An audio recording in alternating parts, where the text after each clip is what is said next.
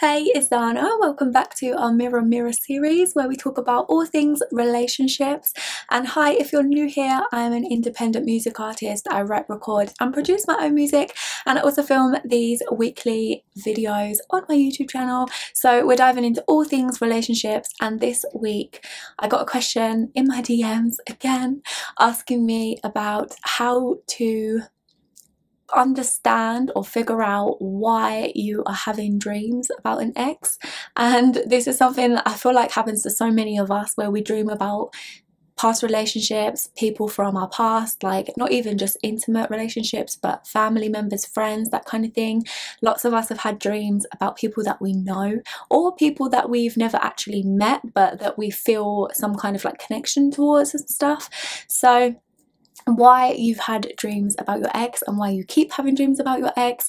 This one is something that I had to learn myself and had to work through myself to be able to stop having these kind of dreams.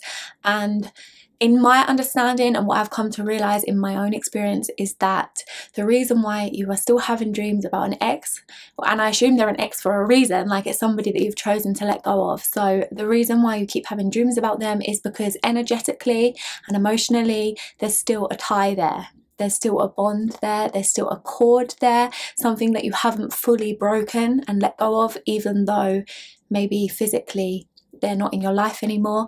But our dreams are literally our subconscious speaking to us. Like it's not for no reason. Things don't happen by accident or by coincidence. They're happening for a reason and it's a message trying to tell you something. So what I would say is to pay attention to the dreams. Maybe um, start a dream journal and actually write down your dreams in the morning when you wake up if you can remember them write down as much as possible about what happened but also write down how you felt in the dream because how you felt really does matter and does determine and help you decipher what that message actually means by how you in the dream was reacting, you know, whether you were happy, whether you were sad, that will tell you more about what the dream is actually trying to tell you.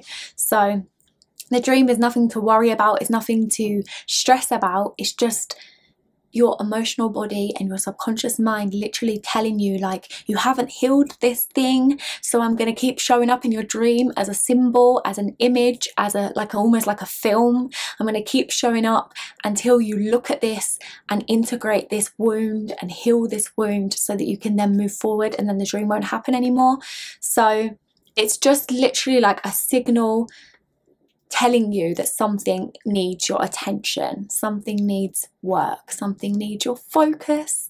So I would really look at the dream and look at what it's trying to tell you, and then you can start to do the healing work to work through whatever it is that's happening, whatever that cord is, so that you can then let go of that person fully and really move on with your life, you know, because there's nothing worse than letting go of someone in your physical reality and then they keep popping up constantly and like things remind you of them and you get triggered left, right, and center about about memories essentially. It's about memories of them. That's what's coming up. So your subconscious is literally just warning you and letting you know not even in a negative way but it's just letting you know that something is still there. There's a wound there. There's something that needs to be healed. So it's not something to worry about, it's not something to fear, it's something to actually go into and look at so that it can then release.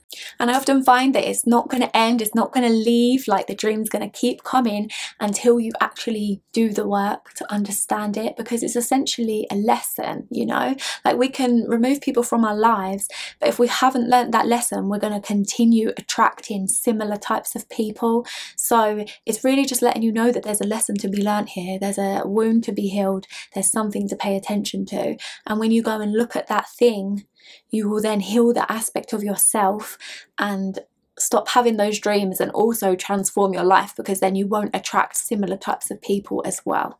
So it's not a negative thing, but it is calling for your attention and it is something that you should definitely look at. So I really recommend a dream journal in case um because oftentimes we can't remember our dreams for a long time. Like you can remember them for the first bit when you first wake up, but then they kind of disappear out of your mind. So I would definitely write it down and then maybe over the week keep looking back at it and look at the patterns that it's showing you of like the recurring dreams that keep happening.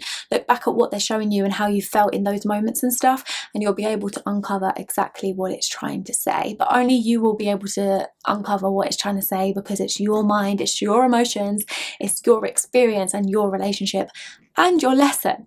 So it really is about yourself. No one else can do it for you but it really will be liberating when you go into it and you start to uncover it because you're going to change your life. So an example I could give, because I obviously can't give specifics on your personal experience because I don't know what your experience is, but just an example, say that your dream is like, I've had a dream before, okay, where I was literally screaming at the person, but like no words were coming out.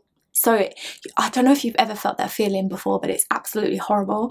And like I remember it, I can feel it right now. I remember how that felt in that dream of like I was trying to say something and they weren't hearing me because no words were coming out, but like they were oblivious and I just wanted them to hear me and it felt really uncomfortable. So, having experienced that dream and I remember how it felt, I know that that was like it was trying to tell me that I want to express myself, that somebody, whoever this person is, is not listening to me, and maybe I'm not even fully expressing myself either. So there's a lack of communication there. And that was my subconscious way of telling me that this is the wound that's happening, that I'm not expressing myself, I'm not communicating, and the other person is not listening, they're not hearing, they're not they're not paying attention, you know? So then in my own life, I can then choose what to do about that situation. Like, do I choose to try and communicate or do I choose to cut the person off?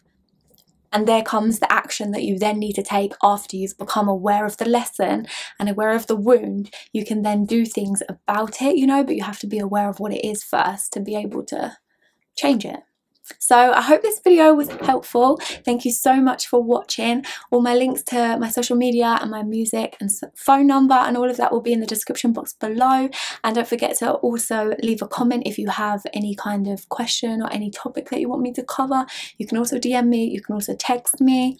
So yes, I hope this was helpful and I will see you in the next episode. Bye. Oh, yeah, Yeah, I'm icy, cooling in that white tee. Oh, yeah, I think you like me. Yeah, I'm icy, cooling in that white tee.